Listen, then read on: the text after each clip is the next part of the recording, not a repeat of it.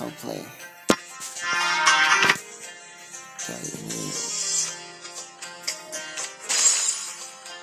Saya akan Mencoba bermain Mobile Legend Tapi versi Magic Chess. Oke langsung saja. Kita play.